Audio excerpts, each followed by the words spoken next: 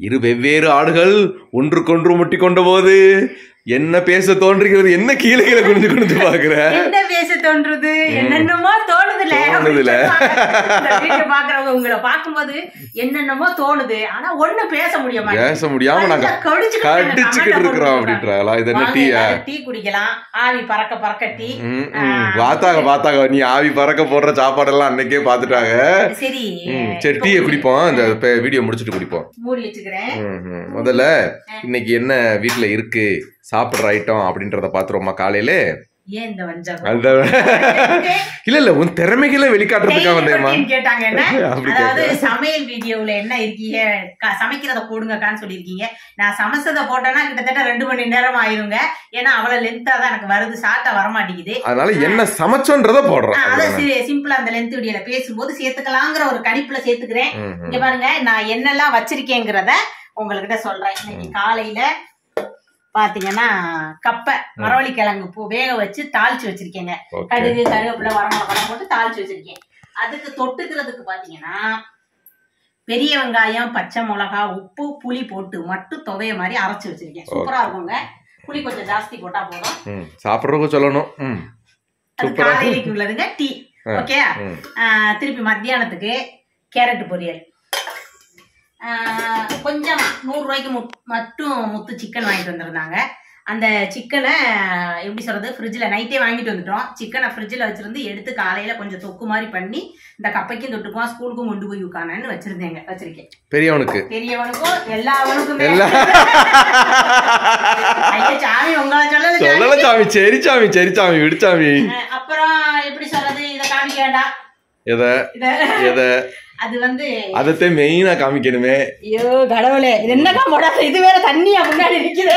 இன்னைக்கு எனக்கு இறங்கத்துக்கு ஆ. இல்லங்க இது வந்து முந்தா நேத்து சாம்பார் எனக்கு வச்சிருக்கேங்க. அவங்களுக்கு கிடையாது எனக்கு. இந்த பழக்கத்தை விடவே மாட்டியா?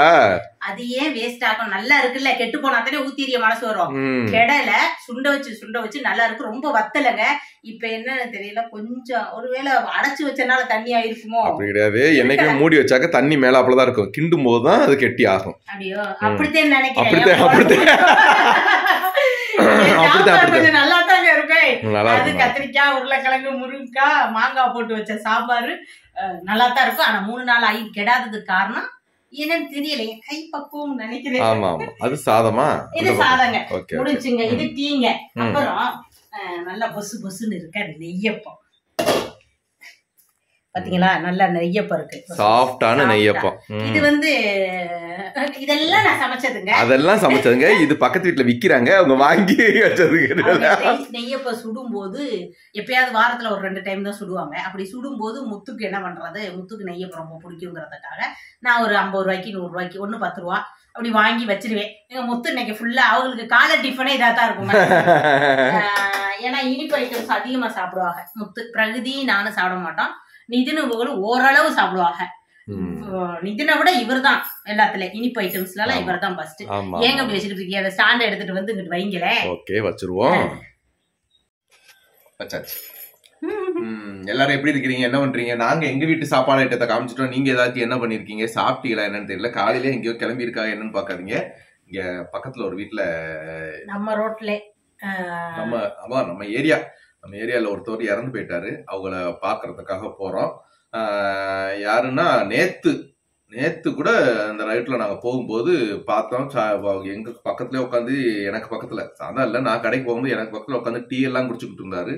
அவரு இன்னைக்கு காலையில பாக்குறோம் நெஞ்சு மாரடைப்புல இறந்துட்டாரு அதாவது. அதிக வயசுலாம் கிடையாது. கொஞ்சம் வயசு தான் நம்ம நிதின் பசங்களோட ஒரு வருஷத்துக்கு மூணு மூணு கூட உள்ள பசங்க தான் இருக்காங்க ரெண்டு பசங்க.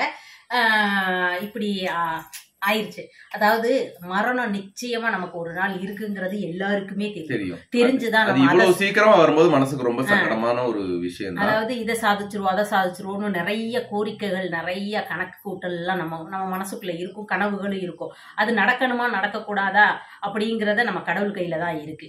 நம்ம இதெல்லாம் கடந்து வரும்போது நான் இப்ப என்ன சொல்றேன்னா எங்களுக்கும் ஒரு பிரச்சனைகள் இருக்கு. நாங்களும் அதை மறந்து சிரிக்க காமெடி போட இப்படியே கொஞ்சம் கொண்டு போறோம். அதே மாதிரி இப்போ வீடியோ பாக்குற உங்களுக்கும் நிறைய கவலைகள் இருக்கும் கண்டிப்பா.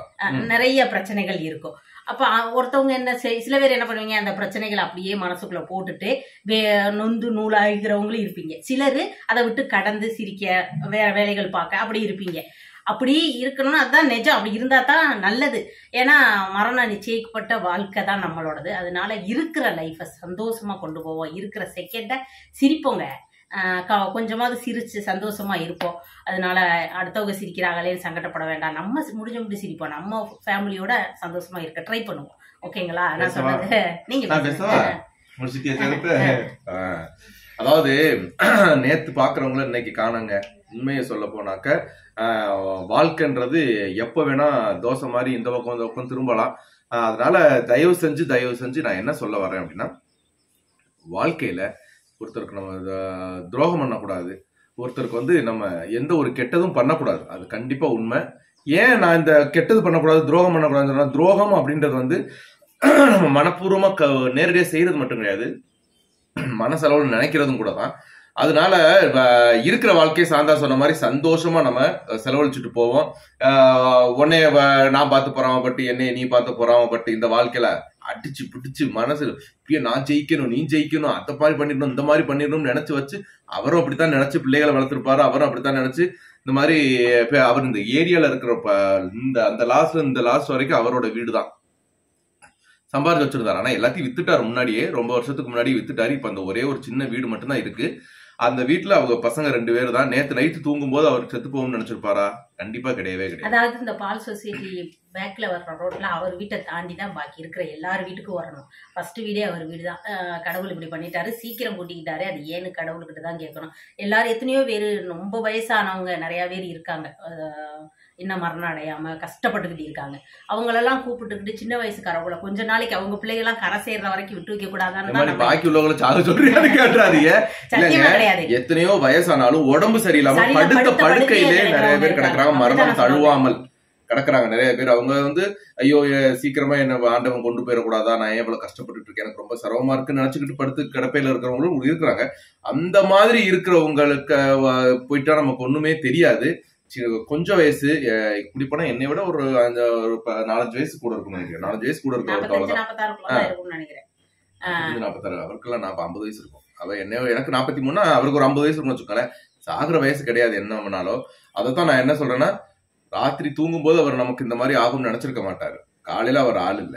அதனால இன்னைக்கு இருப்பாரு? நாளைக்கு இல்ல. அதனால யாருக்கிட்டையும் சண்டை சச்சரவு இல்லாம யாருக்கிட்டையும் யாருக்கும் தேவையில்லாதது எழுதாம கமெண்ட்ல இவங்க சிரிக்கிறாங்களா? சரி இவங்க வீடியோ பார்த்து நாலு பேர் சிரிக்கிறாப்பா அவங்க என்னத்தையோ பண்ணிட்டு போறாங்கன்னு நம்ம கடந்து போயிடணும் நமக்கு பிடிக்கலனாலும் நம்ம கடந்து போயிடணும் தேவையில்லாம அடுத்தவங்க மனசு நம்ம புண்படுத்த வேண்டாம்.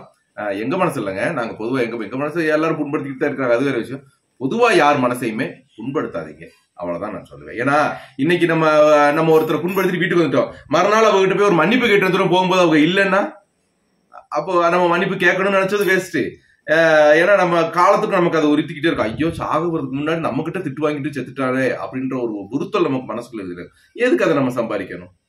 சந்தோஷமா இருந்துட்டு முடிந்தவரை நல்லது செய்வோம் நல்லதே நடக்கும். இ- இன்னொன்னு என்னமோ சொல்லணும்னு நினைச்சேன். ஆயிரம் ரூபா இந்த கொஸ்டினுக்கு நான் தப்பா சொல்றேன்னா நினைச்சுக்க கூடாது. சங்கர நான் சொல்றது ரைட்டான்னு மட்டும் பாத்துக்கோங்க. தப்பா இருந்தா என்னை மன்னிச்சிருங்க. ஆயிரம் ரூபாயை கூட உங்க வீட்டுக்கார்ட்ட கேட்டு வாங்கக்கூடிய ஒரு சூழ்நிலைக்கு நீங்க இருக்கீங்க. உங்களுக்குன்னு ஒரு சேனல் வேற வச்சிருக்கீங்க. அப்படி இருந்து எதுக்காக ஆயிரம் ரூபாய்க்கு கிட்ட அவங்கள்ட்ட கேட்டுக்கிட்டு இருக்கீங்க?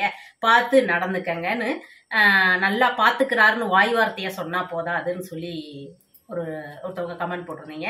அவங்களுக்குன்னு இல்லை இருடித்தாங்க அவங்களுக்குன்னு இல்லை எல்லாருக்குமே நான் சொல்லக்கூடிய ஒரு விஷயம்னா இப்போ எங்க சேனல் ஏன் சேனல்னால இருக்கட்டும் எங்க முத்து சேனலா இருக்கட்டும் ரெண்டு பேருமே ஒரே சேனல் தான். ஒரே அக்கௌண்ட்டுக்கு தான் அந்த காசு போகுது.